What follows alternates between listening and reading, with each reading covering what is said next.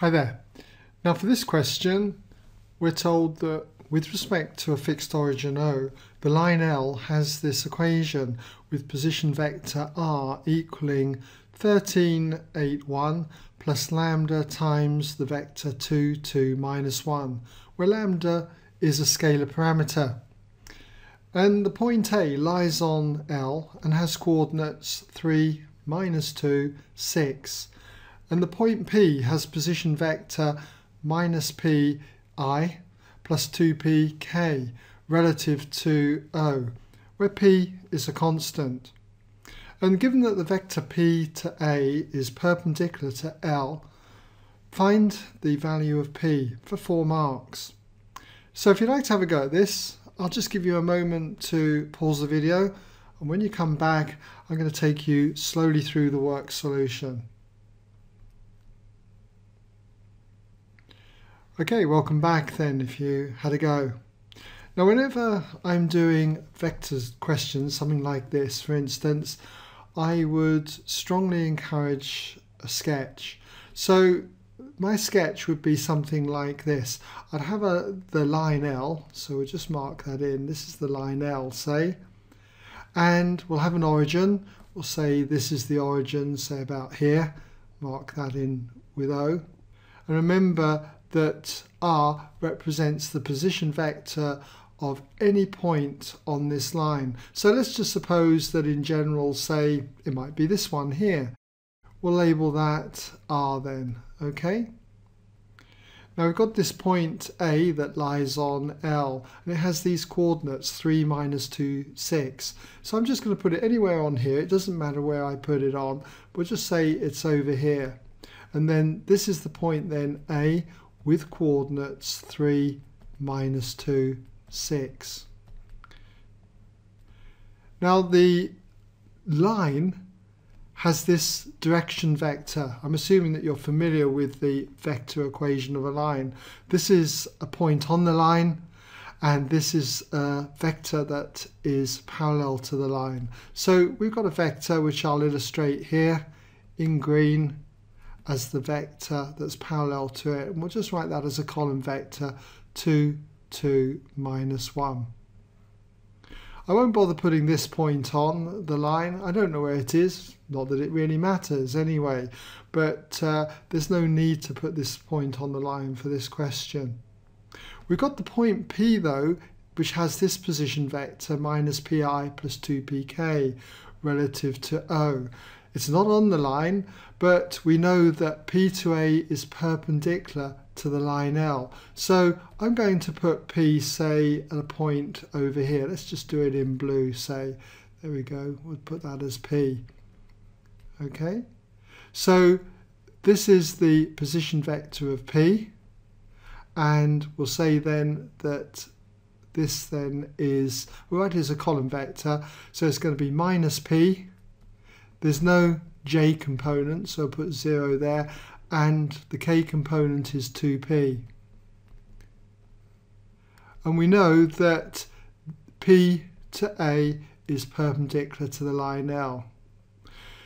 Okay, so it might seem quite a lot of work just to come up with that drawing, but I do think it helps to make things clearer.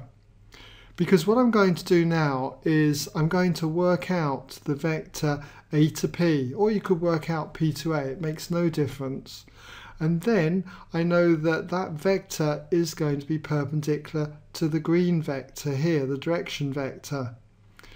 So I would know that the dot product or scalar product of this vector 2, 2 minus 1 with AP is going to equal 0 and that will give me an equation which I can solve then for p. So that's the method that I'm going to use. So let's start then by finding the vector a to p. Remember you could find the vector p to a, it doesn't matter. So if I'm going from a to p, this is the same as the vector o to p minus o to a. And this is a basic result then that we should be familiar with. It's just the O to the last letter minus O to the first letter. And you can see it from here. If you're going to go from A to P, it's from A to O, which is minus O to A, followed by O to P. Okay? Now, if we work these out as column vectors, O to P then we've got down here as minus P, 0, 2P. And then from this we subtract O to A. And A has coordinates 3, minus 2, 6. So O to A, its position vector, would be 3, minus 2, 6. Okay, written as a column vector like that. And if we subtract these two vectors from one another, we get minus p minus 3. And then 0 minus minus 2 is 2. And then we get 2p minus 6. Now, this vector, AP, must be perpendicular to the vector here, 2, 2, minus 1. So that means that the dot product between AP and 2, 2 minus 1 must equal 0. So we'll just put that down on this column here. We'll just say now AP dotted with the vector 2, 2, minus 1 must equal 0. And let's just copy that vector in for AP again. So we've got then minus P minus 3, 2 and 2P minus 6. And if we dot that then with the vector 2, 2, minus 1, we should get 0. Now to dot two vectors together, I'm assuming that you're familiar with that. You can always check it out on my website, the scalar product. We just do minus p minus 3 times 2 and we add it to 2 times 2 and add it to minus 1 times 2p minus 6. So therefore we've got 2 times minus p minus 3 plus 2 times 2 plus negative 1, I'll just write that as negative 1 times 2p minus 6. 2p minus 6 and that should equal 0. And if we expand these brackets we get minus 2p minus 6 plus 4 minus 2p plus 6 equals 0. And from this we can just clean up and work out what p is.